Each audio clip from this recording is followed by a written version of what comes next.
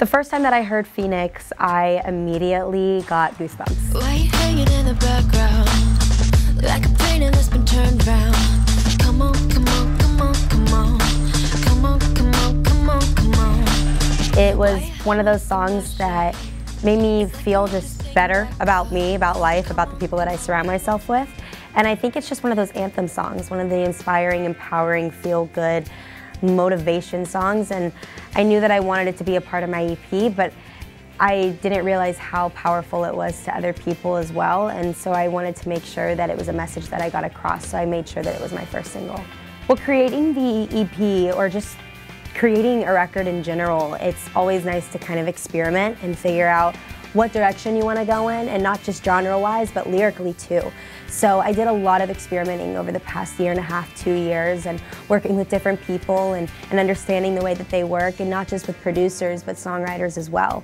And so it's giving me a lot of insight as to how music actually works and all the logistics and hard work that kind of goes behind it. But I did, I learned a lot about what I wanted my music to be like. And I wanted to make a pop record, but I'm from the South, so organic instruments are something that I'm just naturally drawn to. So to throw in those elements are really nice, or to throw in a little bit of soul or alternative is something that I wanted to incorporate too in the EP. So that was really cool that I got the opportunity to do that and to work with people who are totally accepting about it and who totally embrace that about me is so awesome. And I feel really grateful that I got to work with people like that.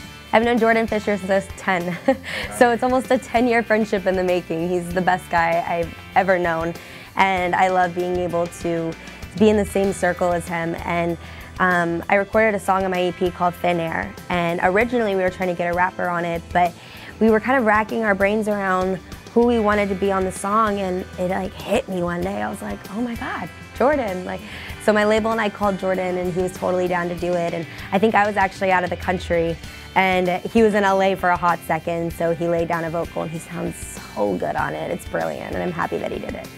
I mean, I grew up watching Disney Channel, so the fact that I got the opportunity to not just do one show or one movie, but two shows, and to do music in a movie is a dream come true. And I learned a lot from Disney, and not only just being on it, but watching the girls in front of me do it, uh, alongside like Hilary Duff and Miley and Demi and Selena. I mean, all those girls have really carved a path for themselves and have really lived their dream. I mean, from the day that they started working for the network, they had a dream and they've totally succeeded in what they wanted to do. And I think that that's so admiring and inspiring to me.